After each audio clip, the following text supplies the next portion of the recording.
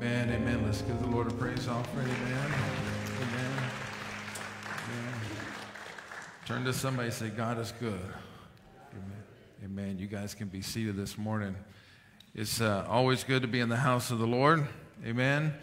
And uh, I do want to continue this series I'm teaching on who is Jesus.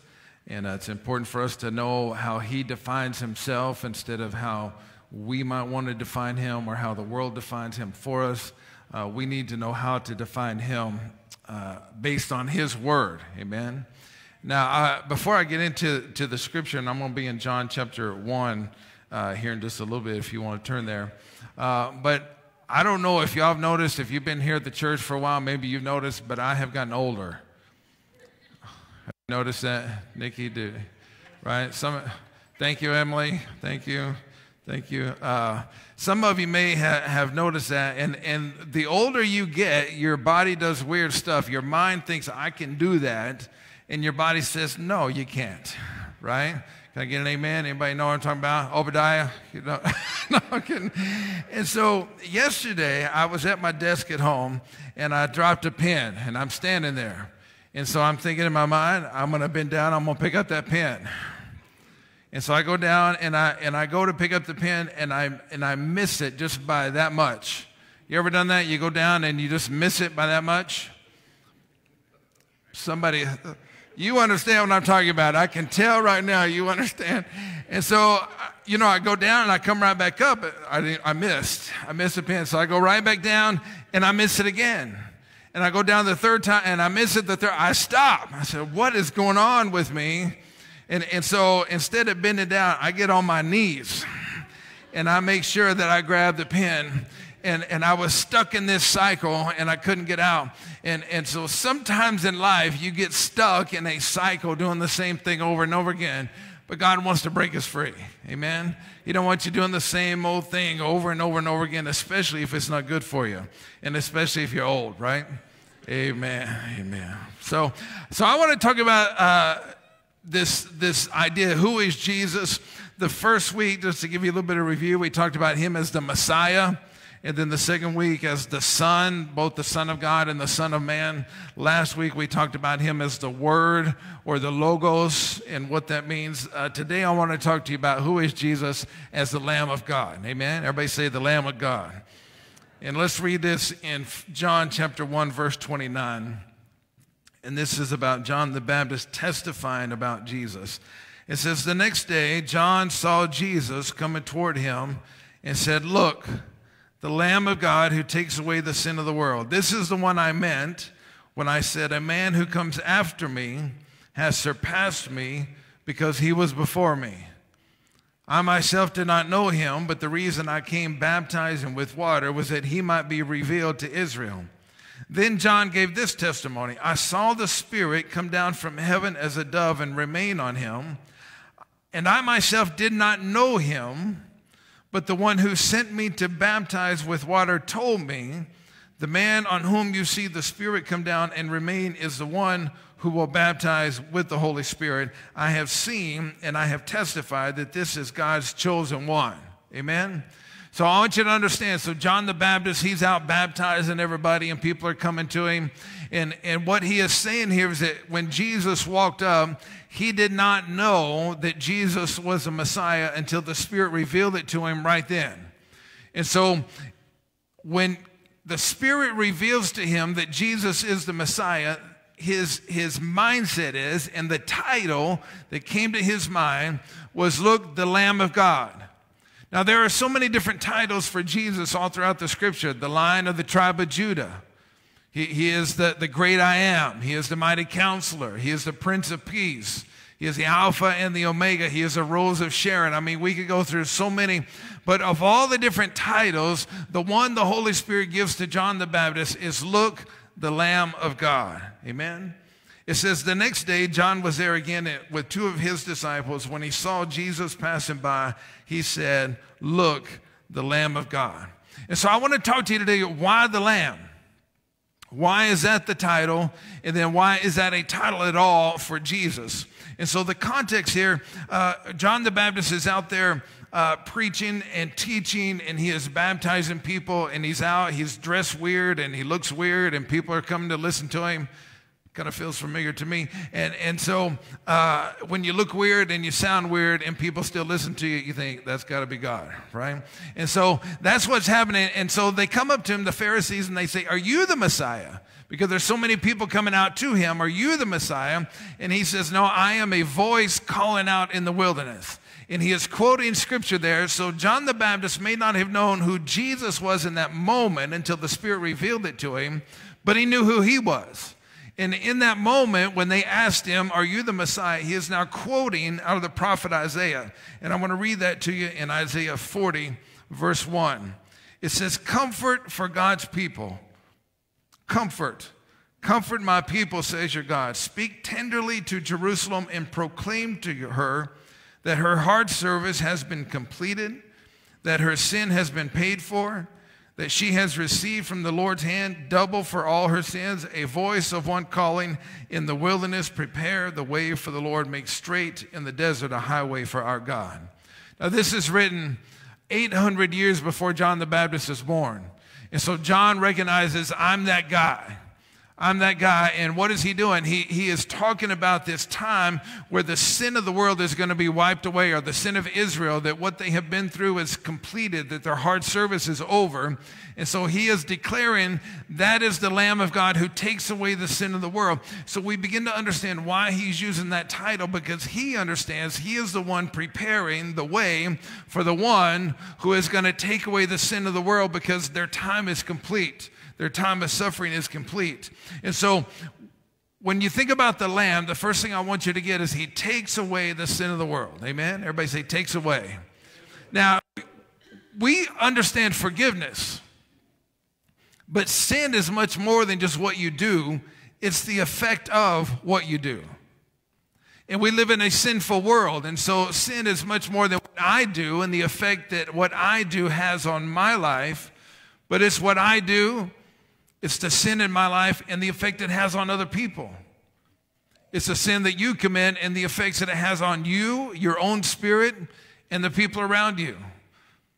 And, and if all the scripture hangs on two things, loving God and loving your neighbors yourself, then sin is the absence of love. So there are many moments in our life when we are acting without love, outside of love, and when we do that, we hurt.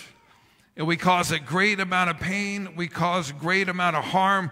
We do things that we wish we could take back. We say things we wish we could take back. And so when it says that the Lamb of God takes away the sin, He's also taken away the effects.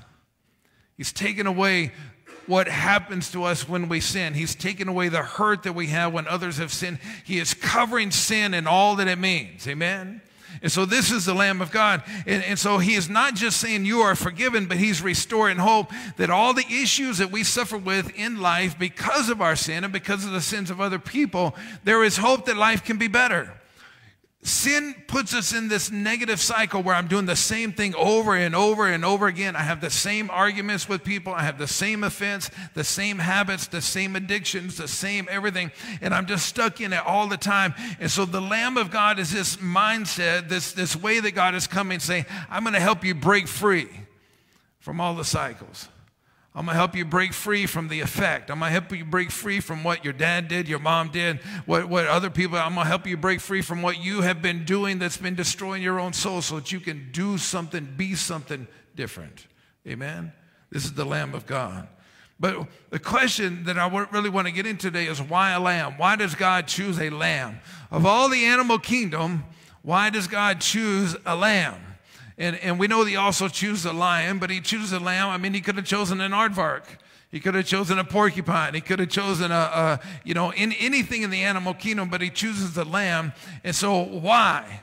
Why does he choose a lamb? And so to get into this, I want to remind you that Jesus is the second Adam. So Adam came, Adam sinned, and when Adam sinned, then sin entered into the whole world. Everybody say it's Adam's fault. No, Eve did it for, no, I'm kidding. I'm not, I'm not going to get into that today. So Adam sins, and when Adam sins, everybody becomes sinful. And it seems like that's a very unfair thing for God to do. But God does this so that later another man named Jesus can come and undo what Adam did.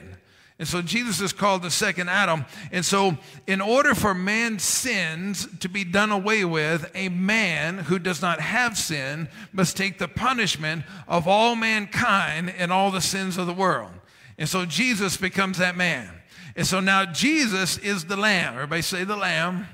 And so now the lamb is representing Jesus, and Jesus has become a man so that he can be sacrificed. The lamb represents us. The lamb represents me and you.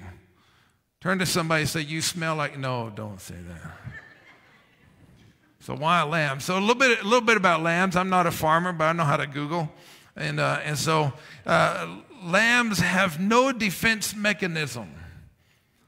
They cannot defend themselves at all. They can't bite, they can't scratch, they can't claw, they, they are slow, they, they, don't, they cannot defend. What they do when they smell danger is they all get in a big group together. And if you're the last one in, hmm, it ain't going to go good for you, right? They cannot defend themselves at all. The other thing they do is they blindly follow. If one starts walking, they just all start going. They don't care where they're going. They may be walking off a cliff. They don't care. They just follow. They blindly follow.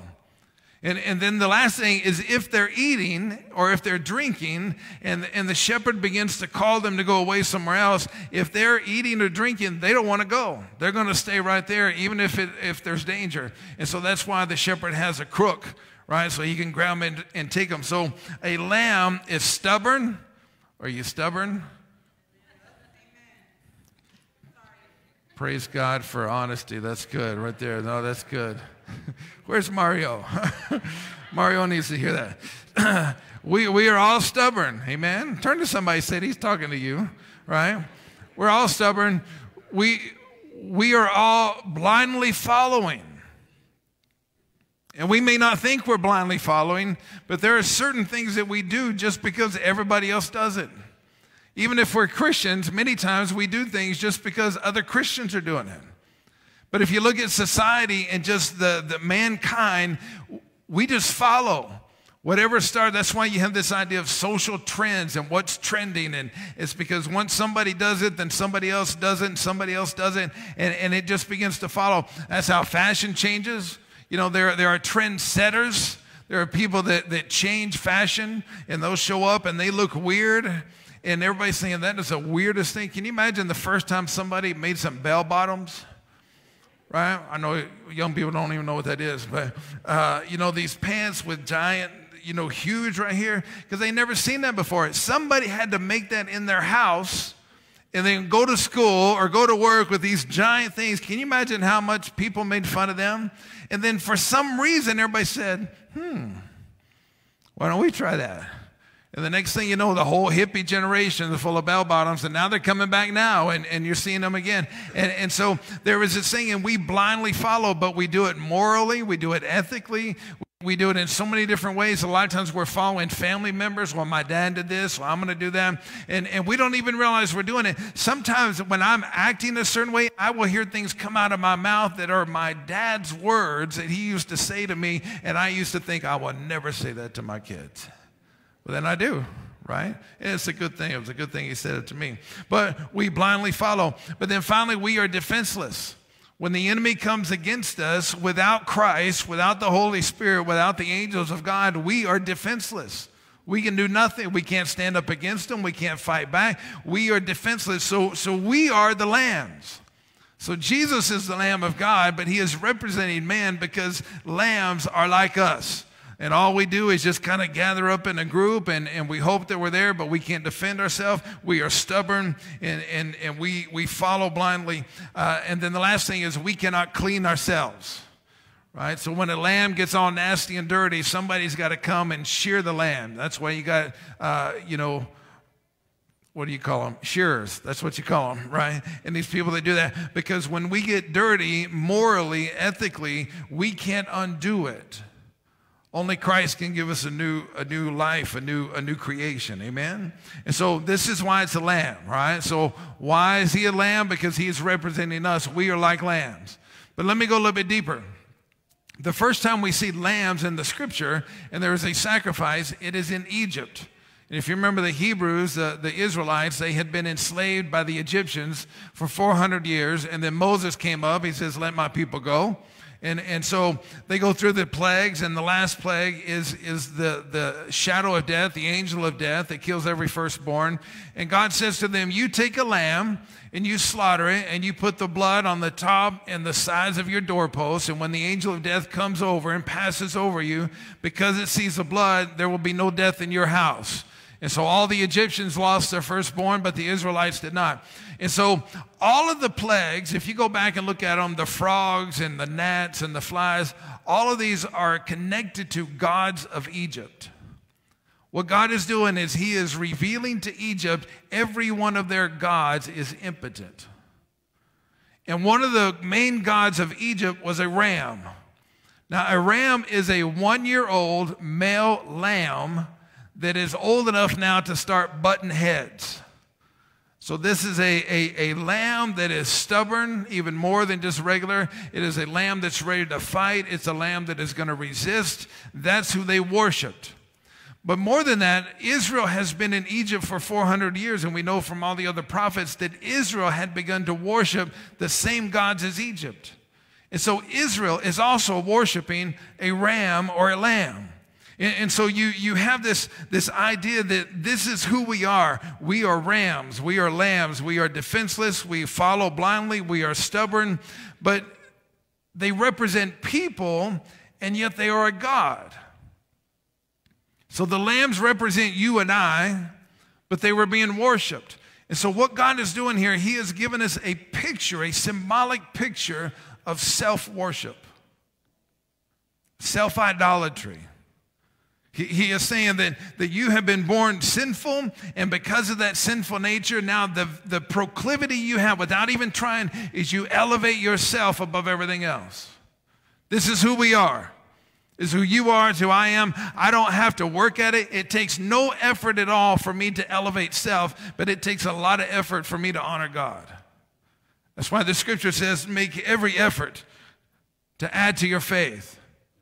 And so you have this, this, this natural proclivity. I don't have to think about it. I don't have to work at it. I am naturally going to think about and go after what I want. And so I become very um, set. I need this. I need this. I want this. And I'm going after what I want. And, and what I'm doing is I'm saying, I am more important than anybody else. I'm more important than God. I don't care what God wants. And, and so it takes no effort. It's easy to do. Can I get an amen? It's easy to be selfish. You don't have to work at being selfish. Amen. The little four year old that takes the cookie and he wanted the cookie, but mom said, You can't have the cookie. And so the cookie's gone, and mom said, Did you take the cookie? And what does he say? I didn't take the cookie. He's got chocolate over his mouth. You know he took the cookie. He doesn't have to go to school to learn how to lie. He doesn't have to go to school to learn how to manipulate to get what he wants. He doesn't have to go to school in order to learn how to deceive. It is natural, and we still do it today. Why lamb? Because we are the lamb. Amen? It takes no effort. It, it is so easy to be selfish. And so when God is setting up the sacrificial system and the lamb represents us, and now he's saying the lamb has to die. And, and it has to be done. Let me read this to you in Ezekiel 46 13. He says, Every day you are to provide a year old lamb without defect for a burnt offering to the Lord. Morning by morning you shall provide it. And so this was God saying, every single day a lamb needs to be sacrificed. Every single day we have to die to self. Every single day, I have to understand who I am naturally is not godly. And so I need the Holy Spirit to help me die to myself so that I'm not living for what I want and going after what I want, but I'm doing what God wants me to do. Amen? And so it is something that we have to do every single day, and it's not easy. Every day I got to remind myself that He's God and I'm not. Amen? You know, when, when, when, when you have a temptation in front of you, and it is very easy to say, but I want that Blue Bell ice cream so bad. And God say, well, you've had enough. it's not easy, and we need help. We need help. I know I should be nice to my wife. I know I should be a good father. I know I should pray every day. But Lord, I'm busy. I got to run. I got to rush. I got to be here. I got to be there. And what are we doing? We're saying, Lord, your way is not the best way. You're not as, I'm going to do it my way. And it's more important for me to get to work on time than to pray. And we self elevate, and, and it takes no effort. We do it easily. Amen.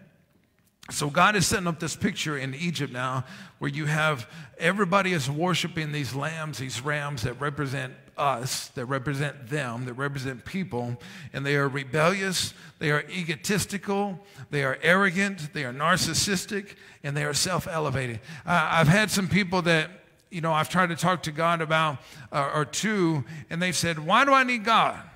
My life is great." You ever run anybody? Uh, there's not a lot of people like that, but there are some people that think, my life is great. Why do I need God? Because without God, you become a self centered, egotistical, narcissistic person. So even your good deeds are for you. You're doing it for self aggrandizement. You're doing it so everybody can look at you. You love those who love you, but the people who don't love you, you can't love them because you're wrapped up in your sinfulness. See, if, if I don't get God, then this is who I become. I'm just a sheep. I'm a lamb over and over again, always wrapped up in my own self centeredness, and, and I can't get beyond that. So I can't love people that don't love me. So as soon as my teenage son rebels against me, I'm done. I'm out because he's not going to treat me with respect, so I'm done loving him. And, and so we, we need this, or else that's who we become, and we just live into it till the very end of our day. And, and the people that we've been nice to are only the people that have been nice to us. And we've made no difference in the world. Amen. So here God is setting this up, and He said, Here are the rams, they represent you, and the ram must die. The ram must die. This is the Christian experience, learning to die to self, and it's hard. Amen. I used to think, God, when I got saved, why didn't you just take the capacity to sin out of me? I mean, I gave you my heart. Why don't you just, just make it where I can't be tempted by anything? But instead, I have this struggle, and, and there are temptations, and there are things that are difficult. And, and, and I used to think, Lord, if, if I'm saved, why, why don't you just take me straight to heaven? And that way, as soon as I give my heart to you, I'm done. I'm up in heaven. Everything is good. I can't sin anymore. I'm not going to hurt anybody else. I'm not going to hurt myself. Why don't I just go to heaven? Wouldn't that be nice? The problem is, is that God is invisible. And so God needs somebody who is visible in order to be a witness to him because he's invisible. And so, even though you get saved, God says, I'm going to leave you in the world. Remember, He prayed in the Garden of Gethsemane, don't take them out of the world, leave them in the world, but give them strength. Amen? And so He leaves us here so that we can be witnesses, so we can testify to how good God is. We don't get to go straight to heaven because He has work for us to do. But in that, then we are stuck in the struggle. And there's always a temptation. There's always, and we so easily fall into it, and we find ourselves doing the very things that we hate. And we find ourselves hurting the very people that we love. Jesus, as the Lamb of God, says, I am going to break the power of sin so that you don't have to live like that anymore. Amen. The Bible says in, in Revelation that they were, they were looking for somebody who could open the scroll. And it says no one was worthy to open the scroll. And one of the angels came to John, who's having this vision, and he says, Don't worry, because the lion of the tribe of Judah, he is worthy. The lion of the tribe of Judah is Jesus. Amen?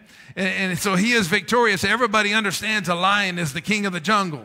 And so he is the lion of the tribe of Judah. But then when he shows up to open the scroll, he shows up in the form of a lamb that has been slain. And, and, so, what he's saying here is the power that is released when I die, you move from being a lamb to a lion. You, you don't have to be stuck in that same cycle. You don't have to be the same person. You don't have to keep falling into the same trap of your natural proclivity, but you can have a different mindset, a different power, a different life. You can be free from all of that stuff.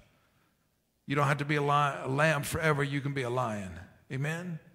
And so when, when we talk about this, this is the blood, this is what he's doing. It is blood to cover my sins, to rescue me from myself. And so when we say Jesus is the Lamb, this is Jesus saying, I am releasing power to help you break the negative cycles of your past so you don't have to keep making the same mistakes, committing the same sin, hurting the same people, doing the same stuff. You could be brand new.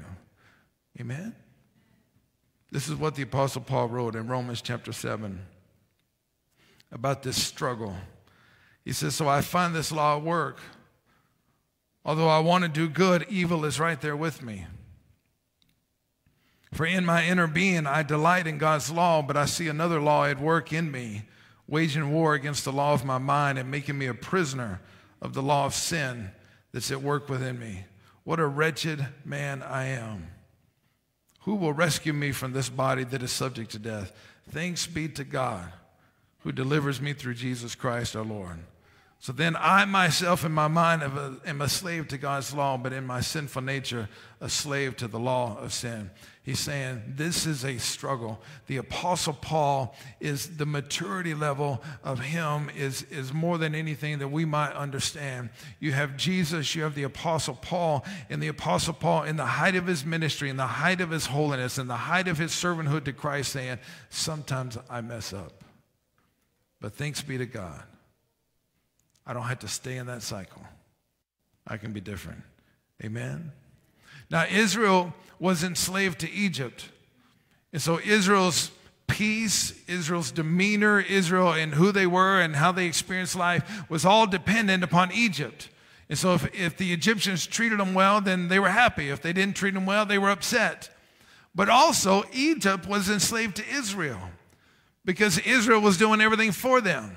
And so, as long as the Israelites were compliant, then the Egyptians got everything they wanted. And, and what I want you to see here is that the sinful nature that makes us selfish also makes us self idolatrous, where we're worshiping ourselves, we're elevating ourselves, but that selfishness enslaves us to other people. Because when I'm selfish, what do I want? I want what I want. I don't care what you want, I want what I want.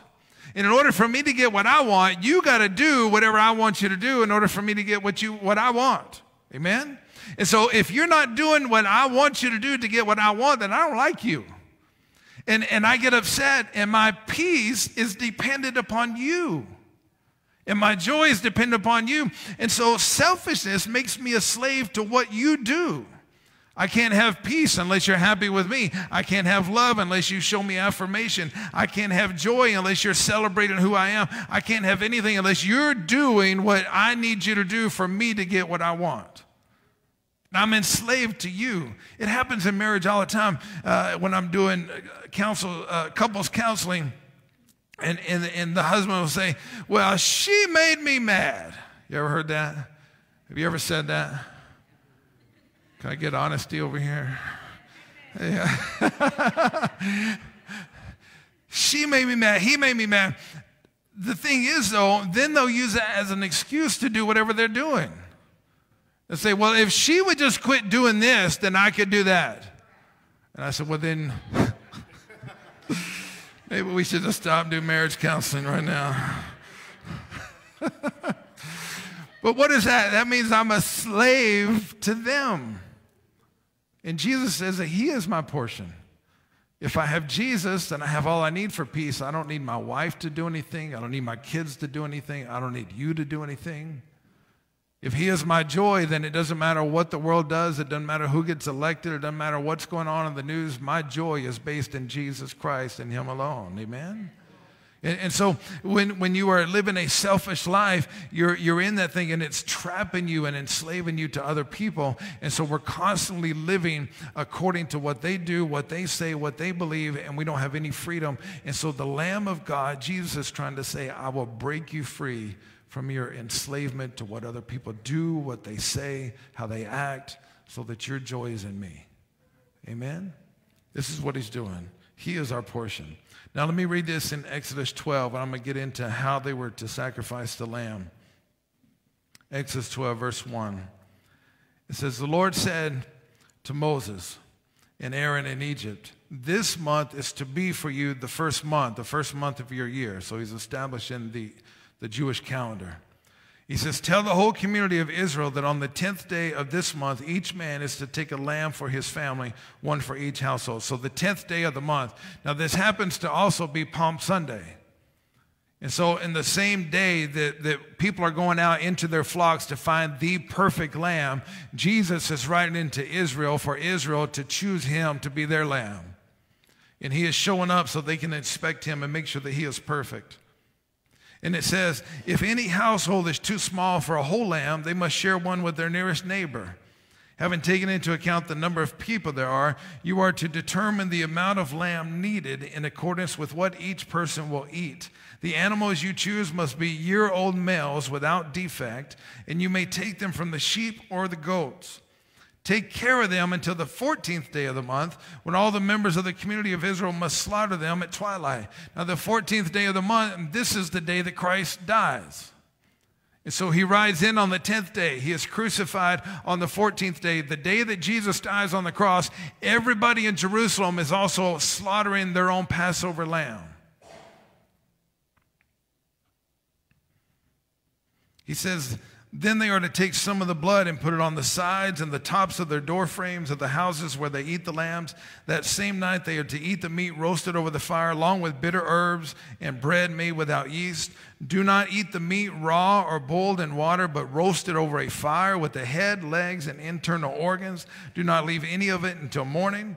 If some of it is left, you must burn it. This is how you are to eat it with your cloak tucked into your belt, your sandals on your feet, your staff in your hand. Eat it in haste. It is the Lord's Passover. That's a lot of instructions on how to take the lamb. Now, understand the Lamb of God is saying uh, this is God coming and, and releasing power to break free from our enslavement of people and our enslavement to our own negative cycles. Just like Israel got free of slavery, he's trying to say, I am, I am dying for you. My blood is to release power so you can break free. The problem that we have is we take the lamb and we don't take it the way we're supposed to take it. And so these instructions become very important. He says, You're going to take the lamb and put the, the blood on the doorpost uh, uh, and on the sides of the door. Now, you need to know a little bit about Israel uh, in Egypt during that time. Egypt, when they would build buildings, if it was a temple, the temple represented eternity. So they would build the temple with stone. But if it was their house, their house did not represent eternity, so it would be built out of mud. But in order for them to live in eternity, they had to maintain their name. So, what they would do in their mud houses, they would take the door frame and it would be made out of stone, and then they would carve their name into the stone. They would carve it on the top and on the sides. And so the Israelites would have done the same thing. So when God tells Moses, take the blood and smear it on the top and the sides, he's saying, cover up your name with my blood. It, it, it is this idea that you are no longer going to be you, but now you are going to be me. You're no longer going to be that person stuck in the same cycle, cycle, stuck in slavery to other people. You're not going to be that same person doing the same damage, the same pain, the same stuff over and over. I'm going to erase who that is, and now you're going to live in me. It's a powerful, powerful moment. And what we do is we don't die to ourselves. We say, Well, I'm a Christian, but then we keep living for ourselves. We keep maintaining our name. And sometimes we'll even do Christian things for us. We want to be a Sunday school teacher so we can say, woo, look how good of a teacher I am. We want to be a preacher so we can stand up and say, woo, look how good I preach. And we are doing things. We we're feeding the homeless, we're doing whatever, but we're doing it for us. And if you're going to release the power to break free, you have to do it for Him, not for you. Amen? Now, here's what He says He says, roast the lamb. Everybody say, roast. I just wanted to get you a little hungry. Now, the thing is, if you boiled it, when you boil it, the bones will eventually break. And so you had to have the whole lamb without defect so a bone cannot be broken. If you remember when Jesus hung on the cross, uh, crucifixion would take days sometimes for somebody to die. And so if they needed you to die quickly because of Passover, they would come and they would break your legs because the way you would stay alive on the cross is you would push and lift up so you could expand your lungs and breathe. And so they would break your legs so you couldn't push up anymore, so you drown on your blood. And so when they came to Jesus to break his legs, he was already dead. And so none of his bones were broken. He stayed the perfect lamb. Amen. And, and so it, it says roast it so that none of the bones are going to be broken because you got to take the whole lamb. One of the reasons we never break free from our past, we never break free from those negative cycles, and we're doing the same stuff over and over again, is because we're not all in. We don't go all in. We don't say, I'm, I'm all in. I'm going to have the whole lamb. See, we like the parts of Jesus that are good, right? There, no weapon formed against me shall prosper. Amen. Praise God. The Lord will give to me all that I need according to his riches and glory. Praise God. But then he says, Take up your cross. And we like to skip over that part. If you want to break the cycles, you got to take it all in. Amen. He says, Do this with your family. And if your family's too small, bring your neighbors in. You can't do it by yourself. Going back to what Pastor Zach was saying just a little bit earlier, if you're going to break the cycle, you can't live Christianity by yourself. We live in a world right now where everybody's saying, Well, I'm, I'm spiritual, but I'm not religious, so they don't go to church. They don't have any kind of community. There's no Bible study. They're not talking to anybody about the things of God. If you're not connected with other people, you will not get free. We have to be connected with other believers because we need encouragement. We need exhortation. We need somebody saying, This is what the Bible says when we forget. We need, we need somebody that's going to hold us accountable when we get outside the lines. We need somebody who's going to pray for us when we're hurting and we're ready to give up. We need each other. Amen? And so we need church. And so if you don't have that, it, you're going to get stuck.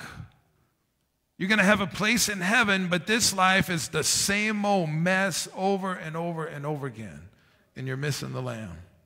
then he says, Put sandals on your feet and a staff in your hand. What is he saying? He's saying, Get ready to move, get ready to travel.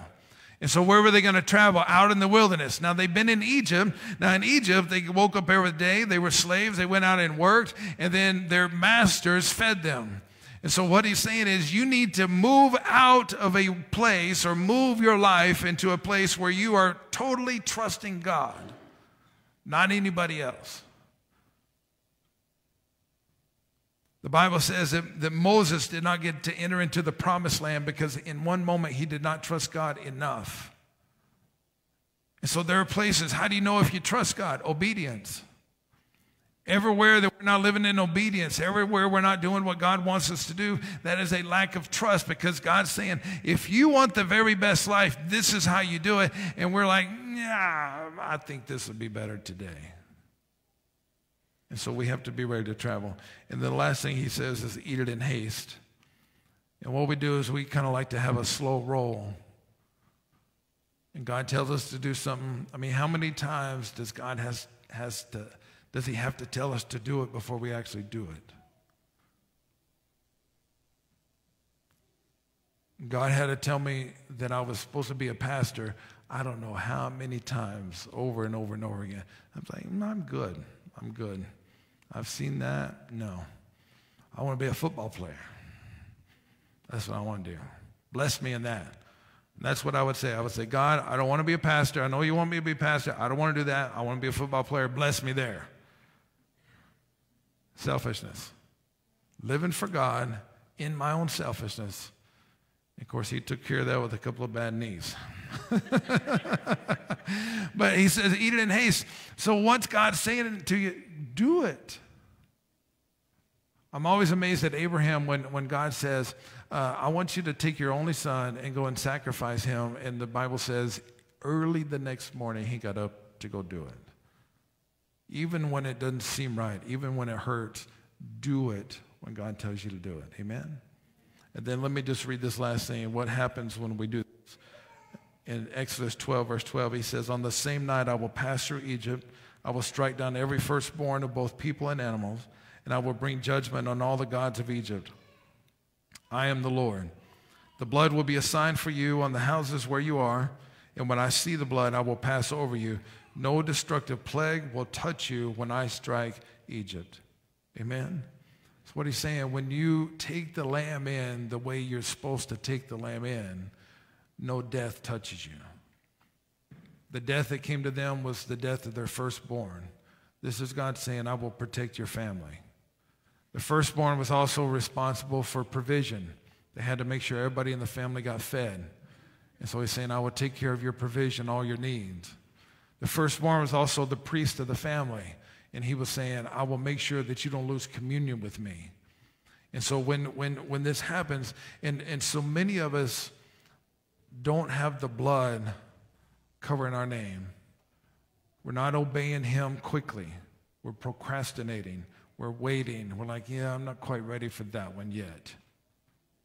And all the while, we're stuck in this negative negativity, doing the same things, hurting the same people, ruining our lives, wondering where is God? And the whole time God is saying, just, just come to me. All the way. All the way. Amen. Stand up and let me pray for you this morning.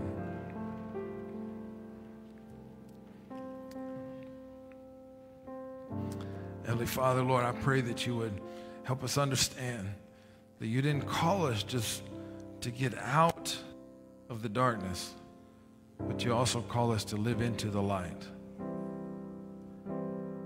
That we would not just be saved, but that we would be sanctified. That we wouldn't just reserve a place in heaven, but our life today would be wonderful and beautiful and incredible. Lord, I pray for anybody here today that is stuck in that negative cycle. Help them see that their life is supposed to be so much more than that. Give them the desire and the discipline to say, I'm going to take in the whole lamb. I'm taking his blood and covering my name. I'm dying to self so that I can live for him. And Lord, help them to know beyond a shadow of a doubt that if they will do that, death will pass over them. We praise you. We praise you. I want to